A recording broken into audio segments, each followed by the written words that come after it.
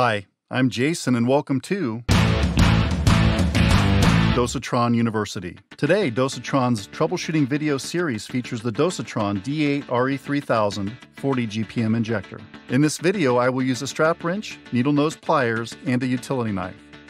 The three key areas in troubleshooting are 1. The injector is clicking but not drawing the concentrate. 2. The injector is clicking but is pushing water down into the concentrate tank. 3. The injector is not clicking or stalling at low flow. The first two are the most common. It's best to perform troubleshooting in a clean area, or if your dosatron is in line, cover your concentrate tank so you won't lose any of the parts. Part 1. If your dosatron is clicking but not drawing the concentrate, it could be as simple as the strainer is plugged with debris. Take a look at the strainer. If it is clogged, just clean it and retest your dosatron unit. If there is no suction, unscrew and remove the hose nut. Slide the ferrule back and cut a half inch off the top of the hose. Reposition the ferrule like this. Then insert the hose back into the barb and hand tighten the nut. By the way, if the hose is cracked or looks really old, just replace it now. After you reinstall the suction hose, you should start to see the liquid begin moving up the hose. If the liquid is not moving up the hose after a minute or so, just turn the water off. Press the air bleed button on the bell housing a few times to release the pressure. To continue, unscrew the suction hose nut once more and set the hose aside. Unscrew the injection stem nut and remove.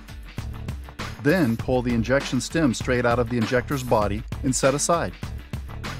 Take a close look at the plunger rod and seal. Make sure the rod is straight and that the seal is free of nicks, scratches, or wear. If the plunger or seal is damaged, or you don't remember the last time you changed it, just replace the plunger assembly now. To remove the beige plunger, pull it down as far as it will go. Position the needle nose pliers near the top of the plunger and carefully twist it a quarter turn counterclockwise and disconnect. To install the new plunger assembly, use the needle nose pliers to align the top of the plunger with the retainer. Then twist it a quarter turn clockwise to lock. Grab the injection stem assembly and carefully slide it onto the plunger like this. Align the notches on the lower part of the blue body with the teeth on the top of the injection stem assembly. Slide the two parts together and hand tighten the injection stem nut.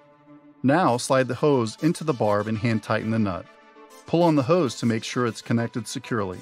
If it comes off easily, you may need to cut another half inch off, reset the ferrule, and reattach the nut. Test the unit by slowly turning the water on. The unit should now begin drawing the concentrate. Part 2. If your injector is pushing water down into the concentrate tank, it's time to investigate the check valve. To do this, remove the hose nut and set it aside. Unscrew and remove the check valve nut. Grasp the white threaded barb and pull the check valve assembly straight out. It might come out in two pieces. Set the unit aside.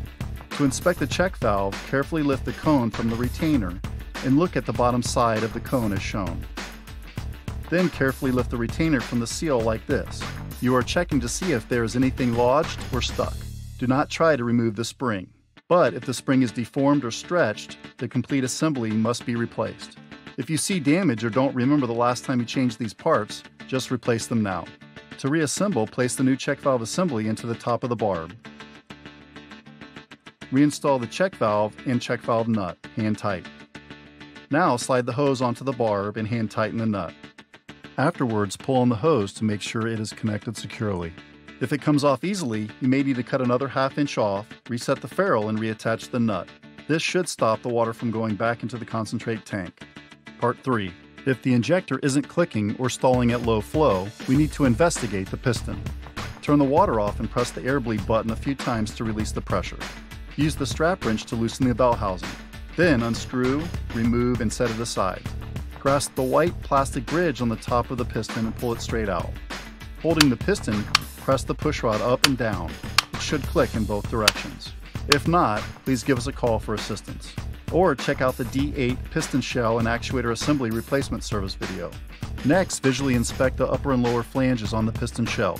If they are worn or have deep scratches, the piston shell needs to be replaced.